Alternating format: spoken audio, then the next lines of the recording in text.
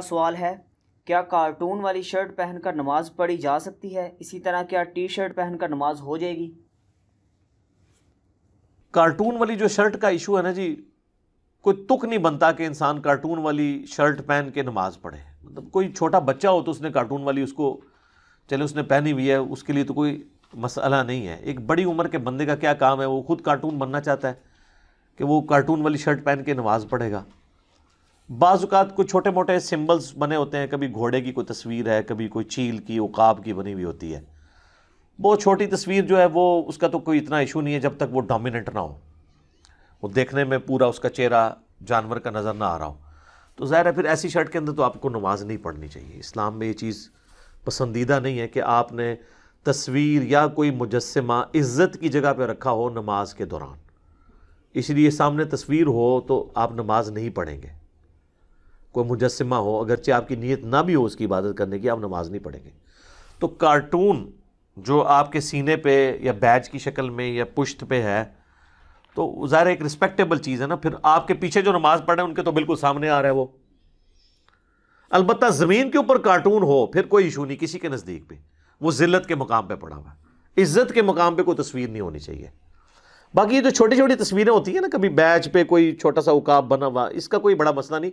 जब बड़ी तस्वीर हो, जो डोमिनेंट नज़र आ रही हो तो ऐसी शर्ट में नमाज़ नहीं पढ़नी चाहिए। नमाज़ आप ऐसी शर्ट में पढ़ें जिसके ऊपर तस्वीरें इस तरह की ना बनी हुई हों। बेहतर यही है। बाकी रह गया टी शर्ट का इशू तो टी शर्ट में भी नमाज़ दुरुस्त है। कोई भी इसको गलत नहीं कहता, कुछ जज्बात की वजह से कह दे, अलग बात है। अलबत् बुनियान में कोई नमाज़ ना पढ़े। वो तो बिल्कुल एक ऐसा बेहुदा सा लिबास है। और वैसे भी बुखारी और मुस्लिम दोनों में हदीस है। कि अल्लाह के महबूब सल्लल्लाहु अलैहि वसल्लम ने फरमाया, तुम में से कोई शख्स इस हाल में नमाज़ ना पढ़े कि उसके कंधे पर कोई ना कोई चीज़ ना हो? और बुखारी मुस्लिम के अल्फाज हैं कि अगर एक चादर में नमाज़ पढ़नी है तो दाएँ पल्लू को अपने बाएँ कंधे पे कर लो और बाएँ को अपने दाएँ पे। इस तरीके से ना वो घुटनों समेत ऊपर तक यूँ एक चादर में भी अरबी ना ड्रेसिंग अपनी कर लिया करते थे, सतर छुपा लिया करते थे। तो कंधे पे होना ज़रूरी है। इसलिए आप देखें, एहराम की हालत में भी जब तवाफ़ काबा के दौरान नमाज़ का टाइम हो जाए ना तो वैसे तो हुक्म यही है कि आपने, जो है ना, वो अपने एहराम वाली जो चादर है, उसको दाएँ कंधे से नीचे से गुजार के यूँ करना है। लेकिन नमाज़ के लिए फिर वो उसको निकाल के ऊपर ले लेते हैं।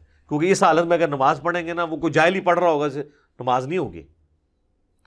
किसी के पास कपड़ा ही बिल्कुल शार्ट है, कोई गरीब है या कैटास्ट्रॉफिक कंडीशन है, फिर तो मामला अलग है, वो तो खाली तहमद में भी नमाज़ हो जाएगी। ये उस सूरत में जब किसी के पास कपड़ा अवेलेबल है तो अपने कंधे पर ज़रूर वो रखेगा। इसी तरीके से सही मुस्लिम में हदीस है, नबी इस्लाम ने एक दफ़ा एक ऐसी चादर में नमाज़ पढ़ी जिसमें नक्शो नगार बने हुए थे। तो आपने नमाज़ के बाद वो चादर उतार के आपने फरमाया, इसने मुझे मशगूलियत में डाल दिया। मैं इसके नक्शो नगार में मेरी कंसंट्रेशन की तो मेरी तवज्जो नमाज़ से हट गई।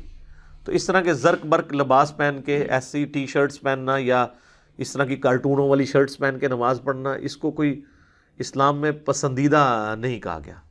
सोबर ड्रेसिंग होनी चाहिए नमाज़ के लिए। तो नमाज़ बिल्कुल दुरुस्त होगी। मर्द के लिए नाफ से लेके घुटनों तक का सतर है। लेकिन ये उस सूरत में है जब उसके पास कोई और कपड़ा ना हो। जब कोई और कपड़ा होगा तो फिर अगर कोई कमीज़ उतार के नमाज़ पढ़ता है या उसके कंधे नंगे हैं तो उसकी नमाज़ दुरुस्त नहीं होगी। ये जहन में रखिएगा। क्योंकि वाज हदीस है बुखारी मुस्लिम में कि कोई शख्स इस हाल में नमाज़ ना पढ़े कि उसके कंधों पे कोई ना कोई चीज़ ना हो। अलबत् ये याद रखिएगा कि साहबा के ज़माने में भी जो गरीब लोग भी थे ना, वो भी जब एक चादर में भी नमाज़ पढ़ते थे ना तो वो उसको यूँ करके पीछे गिरा लगाते थे। यानी नीचे से चादर ला के ना, इधर से, इस कंधे से गुजार के और इधर वाली साइड को इधर से गुजार के पीछे गिरा लगाते थे। कंधे को वो भी कवर करते थे उसमें।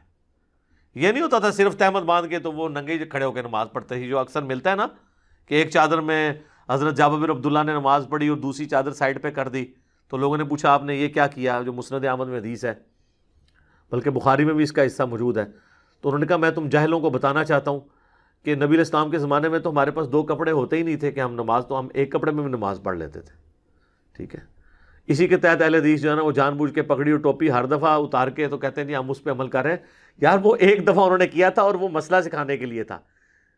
और ये भी नहीं था कि वो घर से ही नंगे सर आए थे, वो घर से वो लेके आए थे, वहाँ उन्होंने चादर उतारी। आप भी घर से पगड़ी बाँध के आए, टोपी पहन के आए और पन्ना रख के आए, फिर नमाज़ के वक्त आप एक वक्त के लिए इसको नीचे रख दें। ये क्या आपने वो, जो है वो खाम खा एक रूटीन बनाई हुई है और एक गैर अखलाकी रवैया अपनाया हुआ है? मैं ये नहीं कहता नमाज़ नहीं होती है। लेकिन जहाँ आप छोटी छोटी सुन्नतों पे जहाँ पे अमल करते हैं तो उन सुन्नतों में तो ये बड़ी सुन्नत है। आप देखेंगे अहल हदीस की मस्जिद में आपको मिलेगा कि जी, वो फजर की दो सुन्नतें पढ़ के ना थोड़ी देर के लिए यूँ लेट जाते हैं और कहते हैं नबी इस्लाम भी लेटते थे तो हम सुन्नत पे अमल कर रहे हैं। हालाँकि नबी इस्लाम के बारे में जो बुखारी में आता है, आप तो अच्छा खासा देर लेटते थे, आराम करते थे, उसके बाद आप नमाज़ के लिए जाते थे। वो कहते नहीं, थोड़ी देर भी लेट ली, सुन्नत पे तो अमल हो गया। ये सुन्नत अमल हो रही है तो चिड़ टोपी के साथ, पगड़ी के साथ सर पे चादर लेने के साथ तो नहीं होनी चाहिए। फिर सारी सुन्नतों पे आप अमल करें। जब हम इस पर थोड़ी तरगीब दिलाते हैं, वो कहते हैं जी कि आप कहते हैं इसके बगैर नमाज़ नहीं होती। हम कब कहते हैं इसके बगैर नमाज़ नहीं होती है? ये तो अनफी भी नहीं कहते हैं, उनकी पब्लिक ही सिर्फ़ कहती है। अहमद बरेलवी साहब ने तो लिखा है, फतावा रिजविया के अंदर कि अगर किसी शख्स को नंगे सर नमाज़ पढ़ने में खुशू और खुजू नसीब हो तो उस पर लाजिम है कि वो नंगे सर नमाज़ पढ़े। ठीक है? तो वो हनफियों का भी ये मसला नहीं है। लेकिन जहाँ हम सुन्नत की बात करते हैं तो नबी इस्लाम ने कभी भी जान बूझ के नंगे सर ज़िंदगी में एक नमाज़ भी नहीं पढ़ी। एहराम की हालत में पढ़ी तो वो तो अहकाम ही डिफरेंट है। कभी ये नहीं हुआ कि नबी इस्लाम जान बूझ कर नंगे सर हों। तो ये खैर अलग से एक मसला है। मैं वो टी शर्ट के हवाले से डिस्कशन कर रहा था और तस्वीर वाली जो इस तरह की चीज़ें पहनना तो ये मना है। बाकी अगर कोई नक्शो नगार वैसे बने हुए हैं, जैसे ये सिंधी अजरक है या और तरह की हमारी शर्ट्स होती हैं तो उसमें नमाज़ दुरुस्त है, कोई हर्ज नहीं है। उसके अंदर नमाज़ में कोई कराहत नहीं है, इल्ला ये कि आपकी तवज्जो वो बांट दे, फिर अलग मामला हो जाएगा। वो तो हती कि सही मुस्लिम में यहाँ तक आता है कि नबी इस्लाम ने एक दफ़ा नमाज़ पढ़ी तो सामने बुखारी में भी हदीस है कि एक पर्दा था जिस पे नक्शो नगार बने हुए थे। तो नबी इस्लाम ने कहा कि इसको बदल दो। इसने मेरी नमाज़ में मशगूलियत कर दी है। तो नबी इस्लाम को यानी एक सादा ज़िंदगी, एक आपकी ज़िंदगी की रूटीन थी। तो टी शर्ट में भी नमाज़ दुरुस्त है।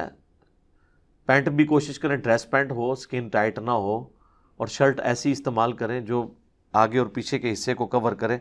जितना भी आप यानी यानी सादगी और सुन्नत के करीब और हया के करीब जा सकते हैं, उस लिबास को फॉलो करने की कोशिश करें। अलबत् नमाज़ जो है ना बरल हो जाएगी। औरतों के सतर का मामला अलग है। औरतों के लिए तो सर के बाल ढांपना भी ज़रूरी है। बुदौद में हदीस है, जब औरत बालिगा हो जाए तो उसकी नमाज़ कबूल नहीं होती है, अगर वो नंगे सर होगी। इसी को बाज़ लोगों ने गलत मतलब समझा कि जो नंगे सर फिरती हैं, उनकी नमाज़ ही नहीं होती। नहीं, नमाज़ की हालत में जो नंगे सर हुआ, औरत तो औरत के लिए तो सर ढांपना फ़र्ज़ है। मर्द के लिए टखने नंगे करना ज़रूरी है, औरत के लिए टखने ढांपना ज़रूरी है। तो औरत का सतर बिल्कुल अलग है। औरत सिर्फ़ चेहरे की टिकिया, वो भी अगर अलग में नमाज़ पढ़ रही है, पब्लिक प्लेस पे कर रही है तो वो निकाब करके ही पड़ेगी और ये दोनों हाथ और दोनों पाँव, ये खुले हों तो ये इसके अलावा बाकी सब ढका हुआ होना चाहिए। एक और रवायत है, वो कमज़ोर है अबू दाऊद में, हज़रत सईदा उम सलमा से कि औरत ऐसे लिबास में नमाज़ पढ़े जो उसके पाँव को भी ढांप ले। अरब में तो बाज़ औरतें इतना गुलूफ करती हैं कि वो कहती हैं, अगर पाँव भी औरत का नज़र आ गया ना बाहर, पाँव भी, वो कहते हैं, नमाज़ नहीं उसकी होगी। तो वो रवायत ज़यीफ़ है।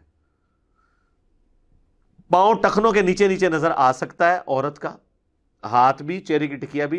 गैर महरम मर्दों के लिए नहीं, मैं अपने लिए बात कर रहा हूँ कि वो अगर अपने घर के अंदर पढ़ रही है या औरतों वाले पोर्शन में पढ़ रही है तो उसकी नमाज़ बिल्कुल दुरुस्त होगी। तो सतर एक क्रिटिकल इशू है, सतर ढांपना, उसका अहतमाम करना, ये नहीं है कि आप नाइट ड्रेस में जाके फजर की नमाज़ पढ़ रहे हैं।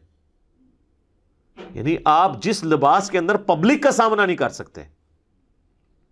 उस लिबास के अंदर आप अल्लाह के सामने क्यों जा रहे हैं? मैं इसलिए कहता हूँ, ये तिनकों वाली जो टोपियाँ रखी हुई हैं, जो आम हालत में कोई पहनता नहीं, अब तो उससे भी बुरा वर्जन आ गया, वो प्लास्टिक की टोपियाँ आ गई हैं। उससे बेहतर आप नंगे सर नमाज़ पढ़ें, या तो आप घर से टोपी लेके जाएँ अगर नहीं है तो नंगे सर नमाज़ पढ़ लें। अब तो कई मसाजिद में खैर अच्छी वो सख्त वाली टोपियाँ भी कपड़े की आना शुरू हो गई हैं। ये तिनकों वाली और प्लास्टिक की टोपियाँ, वो तो लगता है को जैसे उसको उल्टा करें तो फकीर जो मांगने वाले उन्होंने हाथ में वो जो पकड़ी होती है ना, टोकरी, वो ही बन जाती है। तो ये तो नमाज़ की तोहन है ना जी। इस तरह की तो ना आप करें। इस एतबार से मैं समझता हूँ कि फिर उससे तो बेहतर है आप नंगे सर नमाज़ पढ़ें। लेकिन नमाज़ के लिए आप आएँ तो जीनत के साथ आएँ। सूरतराफ में अल्लाह तमाया कि मस्जिदों में जीनत के साथ आओ। इसी आयत के तहत ही, यानी हमारा ये मौक़ है कि जीनत वाला लिबास वो होगा जिस लिबास के साथ अल्लाह के महबूब सलाम आते थे। वैसे तो स्पेसिफिकली ये कुफार मक्का को एड्रेस किया गया कि वो तवाफ़ काबा में नंगे होके तवाफ़ काबा करते थे और सबसे आला तवाफ़ उसका माना जाता था, जो बिल्कुल नंगा होकर तवाफ़ करता था। वो कहते थे इसलिए कि ये नेचर के करीब है, इंसान भी जब पैदा हुआ था तो वो भी नंगा था। इस तरह की लॉजिक घटते थे ना। ठीक है ना? जिस तरह हमारे भी यहाँ पे कई एक अकीदे मशहूर किए हुए हैं कि जी एंज हो सकता है एंज क्यों नहीं हो सकता? वही जी, शहीद ज़िंदा है तो ज़िंदा को तो फिर मांग सकते हैं। आगे खुद क्रॉलरीज बनाते हैं तो वो भी काफर भी इस किस्म की क्रॉलरीज बना लिया करते थे। तो फिर अल्लाह ताला ने उसकी मजम्मत की कि अल्लाह के घरों में मसाजिद के अंदर जीनत के साथ आओ, प्रॉपर ड्रेस पहन के आओ। लिहाजा मस्जिद में जाते वक्त आप ड्रेस अच्छा लेके जाएँ। यानी ऑनरेबल ड्रेस होना चाहिए। हाँ अगर किसी ज़िंदगी में किसी के सादगी है, वो ऑफ़िस में भी, आम हालत में भी इसी तरीके से रहता है। मस्जिद में उसी लिबास में चला जाता है, फिर बिल्कुल ठीक है। लेकिन अपने बाकी मामला में तो वो अच्छा लिबास पहने और मस्जिद में जाते वक्त, वो सुबह फजर के वक्त तो अक्सर ऐसे बेहुदा किस्म के लिबास पहने होते हैं नमाजियों ने। वो तो लगता है मतलब किसी ने घर वालों ने मार के घर से निकाला है। या घर से वो जैसे कोई किसी को रात के वक्त कोई चोर डाकू जो है ना, वो कोई सामान उठा के ले जाए ना तो वो परेशानी में बाहर आएगा ना, इस हालत में वो मस्जिद में आए होते हैं नमाज़ पढ़ने। कम अज़ कम प्रॉपर ड्रेसिंग तो करके आए। खूबसूरत सा लिबास रखें। कई लोग हैं जिन्होंने अपने नमाज़ों के लिए बाकायदा ड्रेसिंग लादा रखी होती है। जब नमाज़ के लिए आते हैं, पूरा इतमाम खुशबू भी लगा के आए। अल्लाह के लिए सब कुछ कर रहे हैं ना। अल्लाह की, अल्लाह को इज़्ज़त देने वाली बात है ना। नमाज़ में तो आप अल्लाह की किबरिया बयान कर रहे हैं। तो आप प्रोटोकॉल के साथ करें। बाकी शरी मसला वही रहेगा कि टी शर्ट में भी नमाज़ दुरुस्त है, बशर्ते कि वो आपके कंधे ढांपती हो, कंधों से यूँ नीचे हो। यहाँ ऊपर होगी ना इस तरीके से, वो जिस तरह, बुनियान टाइप होती है, वो नहीं। जो कंधों से ज़रा सी नीचे हो, बेशक इधर तक। वो कहते हैं ना, आप बासु हो तो वो जनाब नमाज़ नहीं होती है जी। वो आप बाजू वाला नहीं है, वो ये कि आपने, यानी अगर ये मेरी बाजू पूरी थी और आपने जानबूझ के यूँ चढ़ाई हुई है, ये तो ज़ाहिर है कि ये नमाज़ में कराहत है ना। ये कपड़ा मोड़ने से नबी इस्लाम ने मना किया है। ठीक है जी, सही बुखारी में है। कपड़ों और बालों को समेटने से मना किया गया हाँ। अगर कोई आम हालत में भी ऐसे ही रहता है, जिस तरह बाज़ात लोगों ने आम हालत में भी पैंट नीचे से फोल्ड रखी होती है परमानेंटली तो उसको नहीं आप कहेंगे नमाज़ के वो सीधी कर ले। वो उसकी ड्रेस का हिस्सा है।